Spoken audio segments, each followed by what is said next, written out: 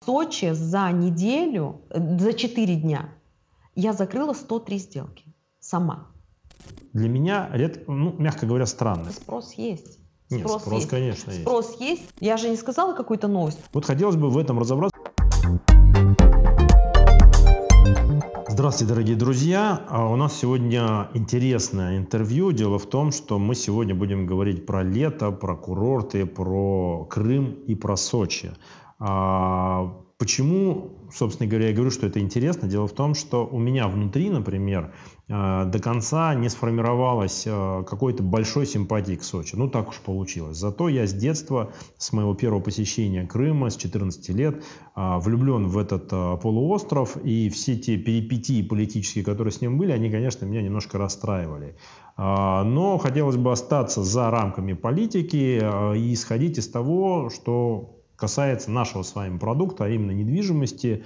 И, собственно говоря, у нас в гостях Регина, а, которая имеет большой опыт взаимодействия с а, разными скажем так, регионами, в том числе зарубежными, про это мы тоже чуть-чуть поговорим, но в первую очередь она много продавала в Сочи, а сейчас продает Крым. Что конкретно и так далее, и так далее, мы поговорим в самом конце. А начать хотелось бы вот с чего.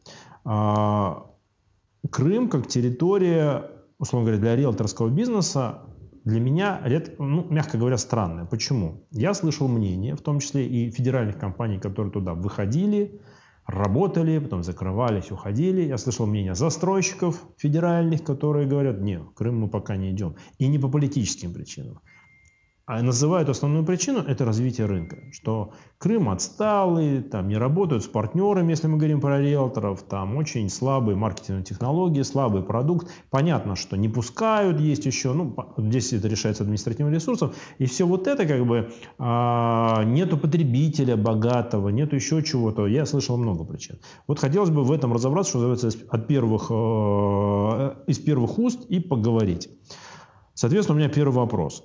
Вот э, мы в кулуарах просто общались, и Регина сказала, что риэлторы вздохнули. Что это значит? Как сейчас обстоят дела взаимодействия застройщиков с риэлтором? Ну, по-разному. Э, как в каждом городе есть э, хорошие налаженные связи между, ну, если мы в целом говорим, да? Конечно. То есть э, у нас есть определенная такая должность, как курортный, то есть эксперт по курортной недвижимости. Вот, недвижимость, э, то есть э, риэлтор, который продает курорт, он должен, ну, обязан знать все побережье. То есть это Сочи, это Анапа, это Геленджик, Новороссийск и обязательно Крым. То есть э, человек в одном городе сейчас как бы уже он, если он э, работает только по одному городу, он уже не эксперт. К нему уже, да, к нему сейчас малый поток клиентов идет, потому что наш клиент любит выбирать. Потому что цены разнятся, условия разнятся, все застройщики, как всегда, между собой конкурируют, каждый хочет предложить плюшку послаще, вот, ну, во всех смыслах. Поэтому... Такие риэлторы реально есть. Я видел парочку каналов в Это YouTube. не парочка, это целое движение. Благодаря мораторию, который сейчас... Вообще э, двигателями торговли по недвижимости, да, это являются сочинские риэлторы. Угу. То есть это не секрет. Вот благодаря жилищному конгрессу, э, вот позапрошлом году, да, э, когда у нас был э, мораторий, э, Сочи, именно сочинские риэлторы, когда наступил мораторий, они сначала продали за три месяца весь город Сочи, всех застройщиков. То есть все, что оставалось. Все, что оставалось. Потом Потом они перекинулись на Краснодар только исключительно благодаря сочинским риэлторам. С цены 45-50 тысяч за квадратный метр Краснодар сейчас взлетел до того, что да, он взлетел. До 100 с лишним. Он взлетел не потому, что какой-то там рынок, что-то изменилось, нет. Потому что э, потоки, то есть небольшое там сообщество риэлторов сделали вот такие продажи. Каждый риэлтор сочинский, он знает все эти регионы. То есть в рамках обучения у сочинского риэлтора это идет обязательно. То есть они знают и Краснодар, то есть каждый э, офис, они продают и Краснодар, и Анапу, и Геленджик, и Новороссийск, и Москву, потому что в Москве очень интересные программы. Просто в Сочи э, буквально а, объекты на пальцах одной руки с полной суммой в договоре и э, со всеми делами. Это мы говорим про новостройки. То есть да, мы сейчас не касаемся да. вторички. А вторички тогда... еще темный лес. Еще темный лес, потому что если мы берем Сочи, то там 90% незаконных новостроек. Это, Ой, вот это, да, да, это... это тема отдельного разговора, она там у нас не том... раз была на канале. А, вы уже это все разбираете? Да, да, у нас есть такой один активный риэлтор, который э, имеет агентство недвижимости в Москве и решил переехать, э, построить дом в Сочи. У него это удалось, но он постоянно критикует как бы весь местный рынок, работает только на супер условия для себя, он может себе это позволить, он не работает с так называемыми серыми и черными, естественно, объектами, с непонятными ЖП, так называемыми. Это так далее. Нет, это Алексей Олешко. Вот. Но он, скажем так, не активный риэлтор. Он угу. так может себе позволить. У него даже блог называется «Записки э, сочинского пенсионера». А, он себя таким пенсионером называет. Вот. И, собственно говоря, мы с ним сотрудничали еще по Москве активно, а потом вот он переехал в Сочи, мы несколько интервью брали, они есть у нас на канале, а, и он рассказывал про этот рынок, ну, что называется, очень сильно его критикуя. А, но, тем не менее, все, кто к нему почему-то обращается, он четко рассказывает, как он работает, но все равно люди продолжают ему звонить, помогите нам продать, и предлагают либо неадекватные цены, э, либо, ну, если продают, либо купить что-то по неадекватной, опять же, цене, которую они почему-то видели там за миллион а у рублей. нас это любят. Нас да. это любят. Ну, это давайте, Сочи отдельная песня, а давайте вернемся к Крыму. Вы сейчас оцениваете, если говорить, ну, можно в целом, можно отдельно о, о застройщиках, что сейчас происходит с точки зрения нового жилья в Крыму? Для меня было большое, большим удивлением, то есть Крым все-таки он э, э, красив природно, но социальная красота там еще э, только начинает появляться. Что такое социальная, социальная красота? красота, я имею в виду то, что школы, парки, дороги, то, что построил человек руками. И э, для меня вообще было большое удивление, когда один из э, известных застройщиков, э, вошел, ну, федеральных, зашел, получается, в Евпаторию и начал строить жилье там э, элит-класса, и у него просто был бум продаж. То есть пир во время чумы. То есть нищета, нищета, нищета, тут вырастает красивый комплекс, который просто разбирают и все. То есть получается спрос есть. Спрос, Нет, спрос есть. конечно, есть. Спрос есть именно на курортную недвижимость, и каждый человек в нашей стране, он хочет иметь кусочек края. Мы когда, в, по-моему, в 15 нет, не в 15 в 16-17 году там проходили некие мероприятия риэлторские, и мы их, э, это было наше начало, тоже наша деятельность, мы их там записывали, транслировали, публиковали, и тогда было, ну, совсем нечего выбрать, в том числе по регулярным коттеджным поселкам, их просто не было, я считал там пара-тройка домов в Ялте, но это не считается. Все остальные э, регионы Крыма вообще были неизвестны. Вот Ялта, там в лучшем случае Севастополь и все. А сейчас как-то меняется ситуация, э, развиваются другие регионы? Конечно, потому что в Краснодарском крае сейчас действует мораторий на строительство. И все уверенные в себе застройщики... На побережье Они пошли, конечно, потому что курортная недвижимость нам знакома. И многие, даже агентства, э, ну, извините, но из нашего любимого Сочи, они переезжают в Крым для того, что, потому что это сейчас очень интересная площадка для инвестиций, для продаж, для всего. А что значит застройщики пошли? Ведь они не боятся, ну, условно говоря, санкций. Но если мы говорим до событий 24 февраля, они уже тогда пошли? Ну, давайте так, что застройщики из Сочи, они уже пуганые. В Крыму очень легко строить. А, а если говорить вот о, о загородной недвижимости Крыма, насколько развита тема, ну, что регулярных поселков, чтобы это было, ну, условно говоря, какая-то единая инфраструктура. Не просто нарезали там и потом хаотично каждый что-то делает.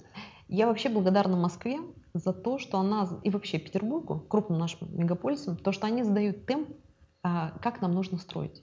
Конечно, да, изначально, то есть пару лет назад это были хаотичные поселки, пожалуйста, разбирай, то есть это такой шанхайчик. Сейчас, конечно, а, большинство а, покупателей, они ратуют за то, чтобы у нас были какие-то а, с единым архитектурным стилем. Да, за это можно переплатить, но люди, которые приезжают на отдых, им важно, чтобы у них это все было, конечно, все красота и радовал глаз.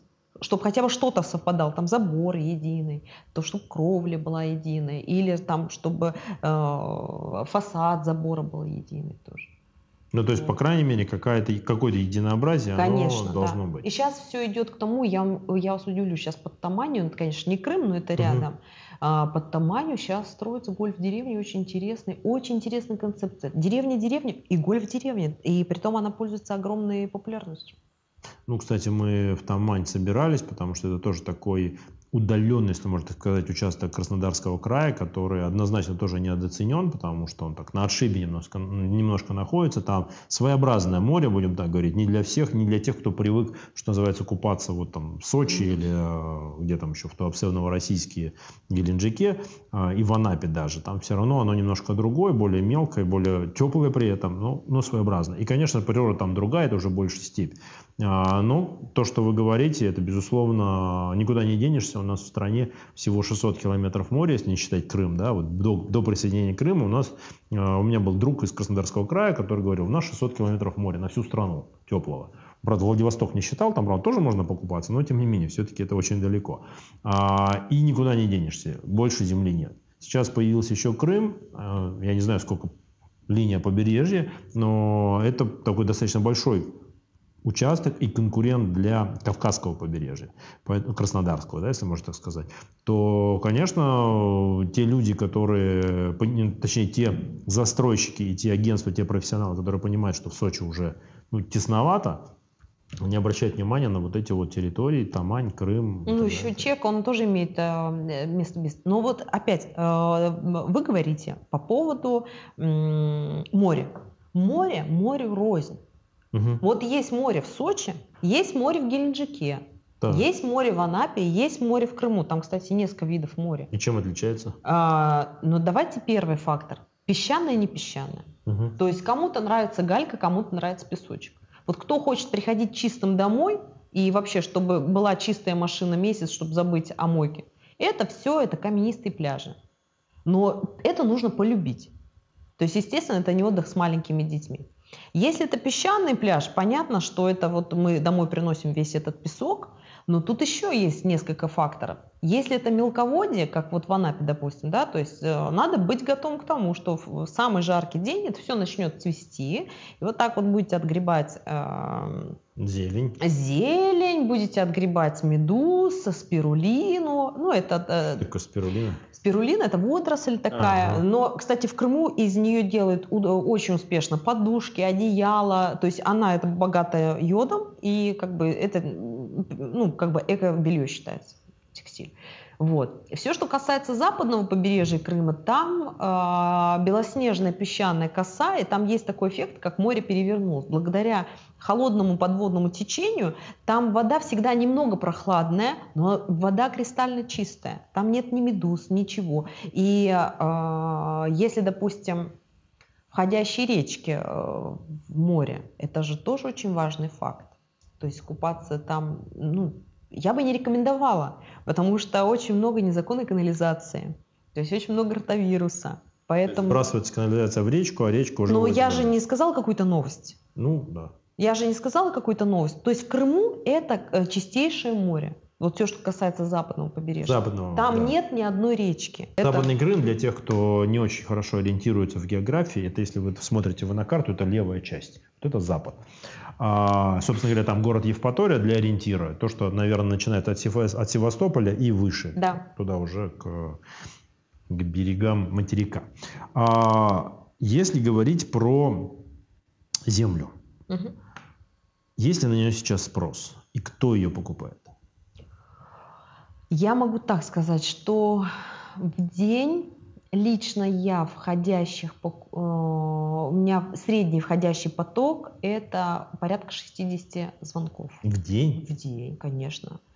Лично у меня сделок от 1 до 19. Первый раз, когда... Нет, в день. В день от 1 до 19? Конечно. А, первый раз, когда я привезла, э, то есть удивительно, но Крым из Крыма вообще не продается. То есть когда я заступила на должность в прошлом году, то есть это такой пустующий офис, это все такое, ау, можно это даже не показывать. И э, я думала, нет, это не может быть, потому что я нормальный продавец, я знаю, как продавать, я умею, я, не надо обстоятельства меня убеждать, что я что-то разучилась делать. И я привезла этот продукт в Сочи. А, в Сочи за неделю, за 4 дня я закрыла 103 сделки сама. То есть настолько, то есть э, это как, а, это вот как какой-то продукт уникальный, в том плане вот как узбекские помидоры. То есть в Узбекистане их никто не берет, а вот если привезти их в Москву, там более на севера, то есть это все берет. Кстати, по поводу овощей и фруктов. Овощи и фрукты в Крыму, они особенные. То есть все бессемянные арбузы, они растут именно на западном побережье. Все, что связано с персиками, яблоками, вот эти, кстати, самые богатые люди в Крыму, если топ-5 посмотрите, это все виноделы. Это правда, да. Ну, вот. винодельческий э, бизнес, он вообще, скажем так, близок очень сильно к верхушке нашего государства, поэтому такой своеобразный бизнес. Да, но именно бургундские сорта винограда, они растут в Крыму. Ну, в Крыму много что. Одна только винодельческая компания Массандра, которая имеет там историю больше ста лет, и тот же самый э, князь Голицын, ну, который и, и в Крыму, и в Абрау-Дюрсо развивал виноделие. Это понятная история.